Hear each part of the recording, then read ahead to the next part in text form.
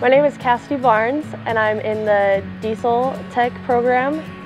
Working with my instructors, they are very good at helping with any questions that you have and just making sure that you have the um, proper skills needed to make it in this industry. The things that I've learned in the program, we learn hydraulics and powertrains and engines and all that and uh, it just shows you that you have to work a lot more hands-on but there are tools to help you, so it's nice that way.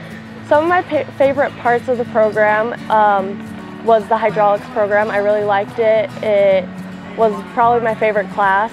Um, another one was engines and getting to like completely tear apart the engine and put it back together and see how it worked and how everything went together. We worked on two excavators and we took out the hydraulics, the hydraulic systems and just replaced a couple things and that was really fun. My employment opportunities when I graduate are anything in agriculture, truck shops, that it's always a, they're always looking for people for diesel, so it's looking good. Something I'd like to say to students coming into this program is to not like be afraid of getting your hands dirty, especially for the girls.